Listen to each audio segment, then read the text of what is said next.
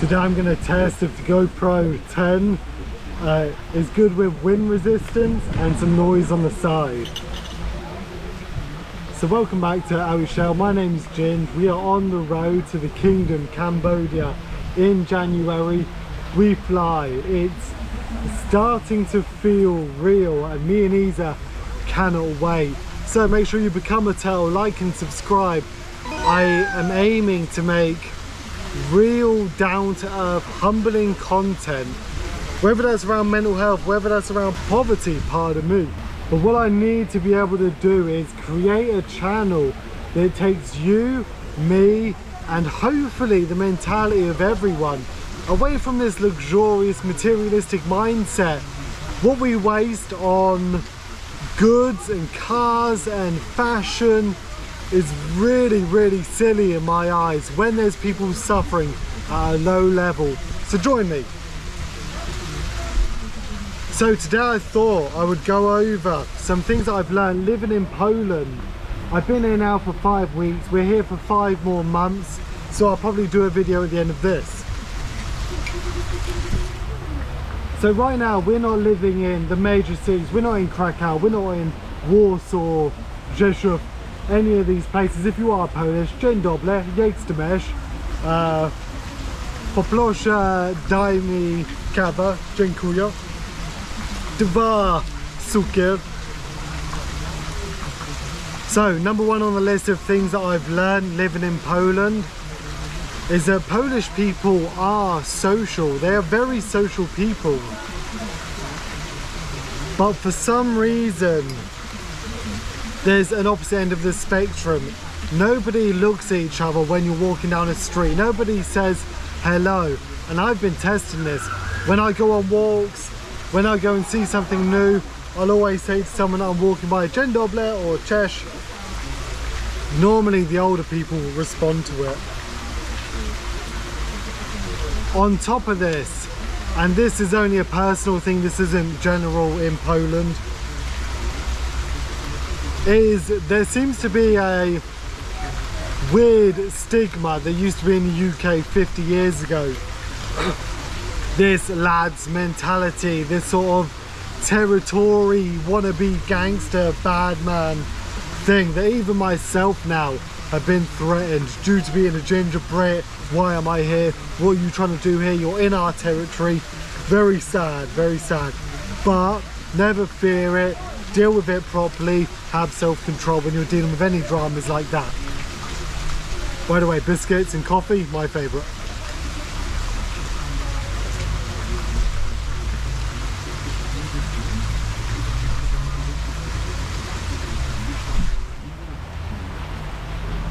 Number two, on things I've learned whilst being here in Poland now coming from the UK, earning pounds, saved enough pounds that is in my account that I can do some work here, teaching, helping out where I can, Ukrainian wars happening. So for me, the economy here, things are nice and cheap. One pound is 1.5, one pound is 5.5 zloty. So for me right now it's good, but when it comes to earning money for my teaching, I'm charging 50 zloty, that's 10 pounds an hour.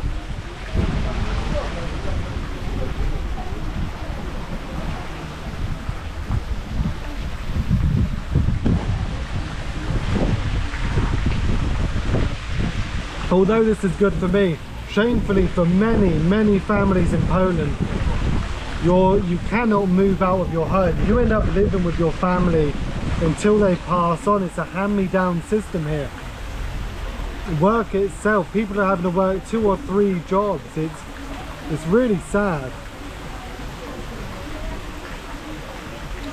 But it's also humbling. You see grandmas uh, for me and Lisa's grandma Babcia Anya a very very sweet woman. And every time I come over shamefully we can't have a conversation due to my lack of Polski. But she'll always come in and offer a coffee. She's bringing biscuits very traditional grandma-ish. Number three that I've realized, and this is only from personal experience, don't judge me. There's a massive difference between men and women here compared to England, compared to America. Men over 30 I find are quite unhealthy, drink alcohol, and are quite separated from their families. Again, this is a generalization. I've met some amazing uh, Polish men who are doing well, really compassionate to his family. I've seen, uh, I've heard and I've sat down with women, uh, young girls who their fathers ain't around and due to being alcoholics and so on. So it's very weird, it's a very weird system here. On top of that, speaking to this one girl, I won't name, uh, a nice sweet girl, she was saying how men that grow up without a father figure end up being a nicer, more compassionate, more open man than those that do grow up with dads at this time in Poland. And it's really sad to hear and I'm sure it'll move on over years but it's sad to hear it first. Number four in the things that I've learned here whilst being in Poland for the month is Poland is a heavy Catholic led and very religiously dominant I'm gonna say in the town I am right now, which isn't a major town, this is somewhere the tourists don't go. You don't see many gingers here. I'm a rare breed here. But there are five massive churches, really big. Um, and again, like there's these public holidays, very religious based. And from what I've spoken to students, they take away other religious studies. They're their books, their education system is extremely outdated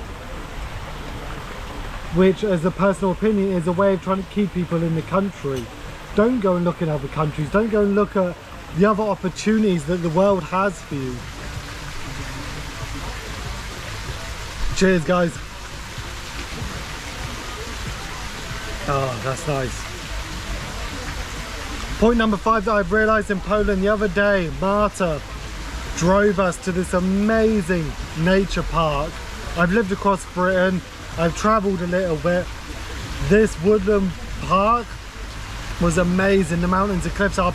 It was, oh, I need to go back. I keep telling Isa, is there any closer? Like, can we go again? Like, I need to go. I love that bit of nature. So for that reason, it, I'd love to, over the next five months, I'd need to go and see more of these sort of things here in Poland.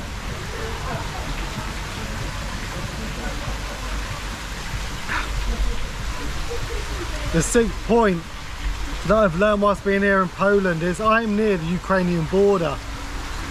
Poland itself, as of months ago, probably more now, has taken in over 80,000 Ukrainian refugees. This town being one of the key stopping points for them to pass through, gather themselves, get some help, get some guidance, and then move on somewhere more permanent or sustainable. Myself now hunting for some of the refugees to be able to give my own aid. But it's definitely an interesting little town. Number seven of the things I've learned whilst being here in Poland is you Polkas and Polacks have a, a really annoying system where you're only allowed to cross the road when the green man is shown. There's no jaywalking.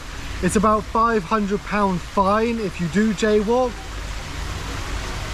And problem is the lights, the lights where I am right now, they're not the most reliable. I could be stood there for what feels like 10 minutes with no cars going by. So that, that sucks. That's another point to keep an eye out and learn that mental patience. The next point the next thing is that I use fitness and health, physical activities to help my mental health. Someone who suffered with and suffers with depression, I know the need for it. Joining a gym here for me was a new experience. Not being able to talk to anyone, not being able to talk to the receptionist. ask for anything was a challenge that's forcing me to learn Polish. But the point I'm trying to make is everyone here in Poland that goes to a gym, male, female, elderly, young, groups of lads, groups of girls, will come up and say hello to you.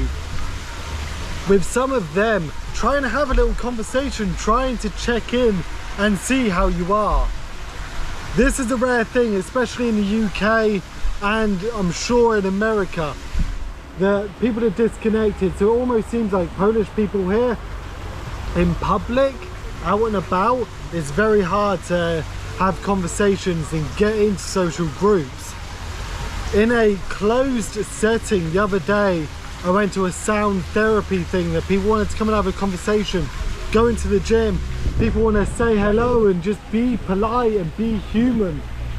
That means a lot. That means a lot for me and I'm sure for new people going to the gym. The last point I want to make on things that I've learned since being in Poland is the food.